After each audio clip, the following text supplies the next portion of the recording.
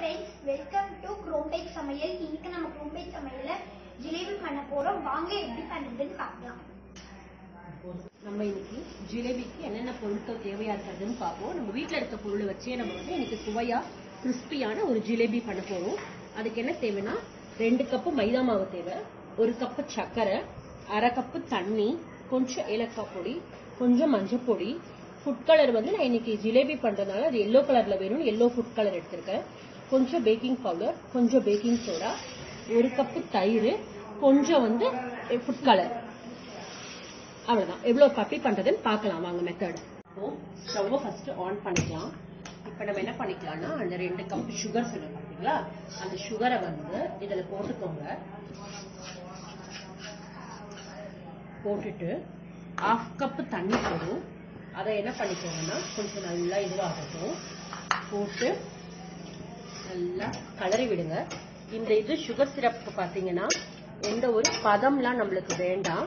Just வந்து இது ஒரு ஃபைவ் டு டென் மினிட்ஸ் வந்து கொதிச்சிச்சுனாலே அந்த இது நம்மளுக்கு வந்து பதம் வந்துடும் ஸோ நல்ல ஜூஸியாக சூப்பராக இருக்கும்.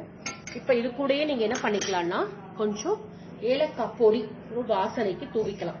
ஸ்டார்டிங்கே நீங்கள் வந்து போட்டிங்கன்னா கொஞ்சம் நல்லா மனம் வரும். அப்புறம் இது வந்து கொஞ்சம் நல்லா இருக்கட்டும் நான் என்ன பண்ணிருக்கேன்னா அந்த ஃபுட் கலரையும் இது கூட வந்து ஆட் பண்ணிடுறேன். ஸோ நீங்கள் எல்லாத்தையும் ஆட் பண்ணிட்டு நல்லா வந்து இது வந்து கொதிக்கட்டும். அது அப்படியே நீங்கள் ஒரு டென் மினிட்ஸ் வந்து கொதிச்சிருட்டும் அதுக்கப்புறம் நம்ம அடுத்த ப்ராசஸ் நம்ம பண்ணலாம். என்ன இது பாட்டு தான் கொதிச்சிட்டு இருக்கட்டும். நம்ம வந்து என்ன பண்ணலாம்னா மாவு எப்படி ரெடி பண்ணுறதுன்னு சொல்லிட்டு நான் காமிக்கிறேன் உங்களுக்கு. இப்போ நான் அந்த டூ கப்ஸ் மைதா மாவு வச்சிருந்தேன் பார்த்தீங்களா அதை நீங்கள் ஒரு நல்ல மிக்சிங் பவுலில் ஒன்றுல ஆட் பண்ணிக்கோங்க. அது கூடவே என்ன பண்ணிக்கோங்கன்னா ஃபர்ஸ்ட் அந்த மாவு வந்து நல்லா விஸ்க வச்சு நல்லா கலரி விட்டுடுங்க. உங்களுக்கு அப்பதான் ஈஸியா இருக்கும். அப்புறம் வந்து ஒரு கப்பு தயிர் சொல்லணும் பாத்தீங்களா? அந்த தயிரையும் நம்ம வந்து இந்த மாவு கூடையே போட்டு ஆட் பண்ணிடுங்க. நல்லா வந்து லம்ஸே இதுல இருக்கக்கூடாது. பாத்தீங்கன்னா நம்ம நல்லா வந்து தோசை மாவு பதத்துக்கு வந்து இது நல்லா வரணும். எப்படி வரும் நான் சொல்றேன். இப்ப வந்து இது கூட என்ன பண்ணிக்கோங்க கொஞ்சம் கொஞ்சமா ஃபுல் தண்ணியையும் முதலையே போட்டுறாதீங்க.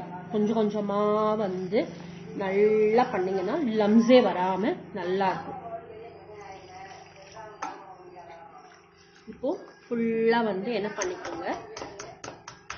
அழகா வந்து வரும். இந்த மாதிரி லம்ஸே இல்லாம பண்ணீங்கன்னா உங்களுக்கு ரொம்ப நல்லா வரும் இது. அப்பதான் உங்களுக்கு சாப்பிட்றதுக்கும் நல்லா இருக்கும்.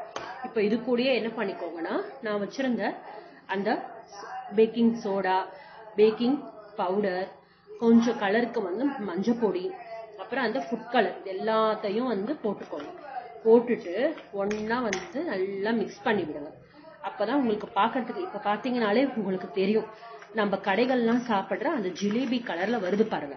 இன்னும் நல்லா பொறிச்சு எடுத்தீங்கன்னா சூப்பரா வரும்.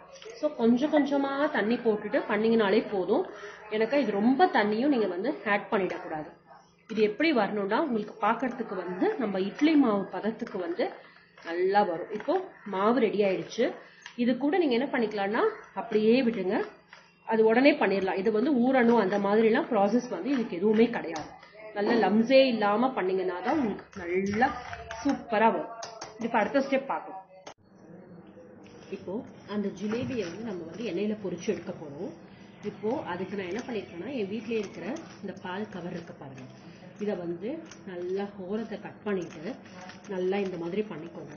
இதை என்ன பண்ணிக்கோங்கன்னா நம்ம அப்படியே குத்துறதுக்கு பதிலாக நம்ம என்ன பண்ணலாம்னா ஒரு டம்ளர் நம்ம வீட்டில் இருக்கோம் பார்த்தீங்களா அந்த டம்ளரில் இப்படி நுழைச்சிட்டு இதோட ஓரத்தை மட்டும் என்ன பண்ணிக்கோங்க.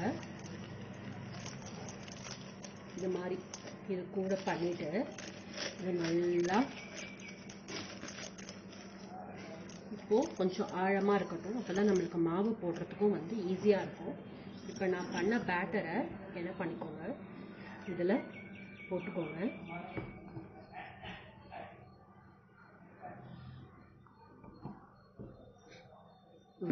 ஒரு முக்காக்கு வர மாதிரி பண்ணிக்கோங்க. இப்போ நம்ம ஸ்டார்டிங் பண்றதுனால நம்மளால வந்து அப்படியே பிழிய முடியாது. அதனால நீங்க என்ன பண்ணிக்கோங்கன்னா டைட்டா இதை எடுத்துட்டு இதுக்கு வந்து என்ன பண்ணிக்கோங்க இந்த இடத்துல ஒரு ரப்பர் பேண்ட் நம்ம இருக்க வீட்டில் இருக்கிற ரப்பர் பேண்டை வச்சு நீங்கள் என்ன பண்ணிக்கலாம்னா இதை வந்து போட்டுக்கோங்க. அப்போ தான் இது எப்படின்னா நம்மளுக்கு சுற்றும் போது டைட் இருக்கும். ரொம்ப எக்ஸ்பீரியன்ஸ் ஆச்சுன்னா நீங்கள் இதை அப்படியே கையிலேயே பிடிச்சிட்டு கூட ரப்பர் பேண்ட் இல்லாமல் பண்ணிக்கலாம். பட் ஸ்டார்டிங் பண்ணுறவங்களுக்கு இது பண்ணீங்கன்னா ரொம்ப சேஃபாகவும் இருக்கும். இப்போ இதை நான் எப்படி பண்ணுறதுன்னு உங்களுக்கு காமிக்கிறேன். வாங்க பார்க்கலாம். இப்படிதான் ஆயிடும் இது. இப்போ ஒரு இந்த மாதிரி ஒரு கடாய் எடுத்துக்கோங்க. இந்த கடாயில வந்து நம்ம வீட்ல வைக்கிற எண்ணெயை யூஸ் பண்ற ஆயில் இருக்கு பாத்தீங்களா? அதை போட்டு தான் நம்ம பொரிக்க போறோம். ஸோ அது கொஞ்சம் கொதிக்கட்டும். நல்லா எண்ணெய் காயட்டும். இன்னும் கொஞ்சம் நல்லா பண்ணுங்கன்னா உங்க குட்டி குட்டியா கூட போட்டுக்கலாம். உங்க இஷ்டத்துக்கு நீங்க எப்படி வேணா இதை ஷேப் பண்ணிட்டு பண்ணிக்கலாம். இதை நல்லா பண்ணினாலே சூப்பரா வந்துடும் இப்போ அந்த பொரிச்சு எடுத்திருக்க பாத்தீங்களா? அது எவ்வளவு மெலிசா சூப்பரா வந்திருக்க பாருங்க. இதை என்ன பண்ணிக்கோங்கன்னா நம்ம வந்து சுகர் சிரப் வந்து பண்ணி வச்சிருந்தோம் பாத்தீங்களா? அதுல அழகா வந்து போடணும் இதில்.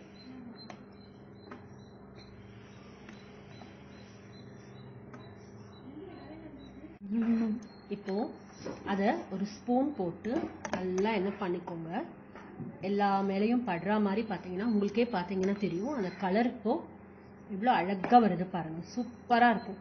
நல்லா அது ஒரு டூ மினிட்ஸ் ஊறினா போதும். உங்களுக்கு ஜூஸியோட சூப்பரான கிறிஸ்பியான ஜிலேபி. சாப்பிட்றதுக்கே ரொம்ப நல்லா இருக்கும் இது ஹோம் மேடு அதனால நீங்கள் தாராளமாக பிள்ளைங்களுக்கு கொடுக்கலாம். ஒன்றுமே ஆகாது. நீங்களும் செஞ்சு பாருங்கள் ரொம்ப நல்லா வரும் உங்களுக்கு.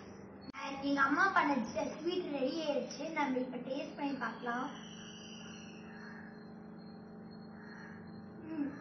ரொம்ப டேஸ்டா இருக்கு. நீங்களும் ரெசிபி விட்டு ட்ரை பண்ணி பாருங்கள் உங்களுக்கு இந்த வீடியோ பிடிச்சுன்னா கோம்பை தமிழ் சப்ஸ்கிரைப் பண்ணுங்க. நல்லா கமெண்ட் கொடுங்க.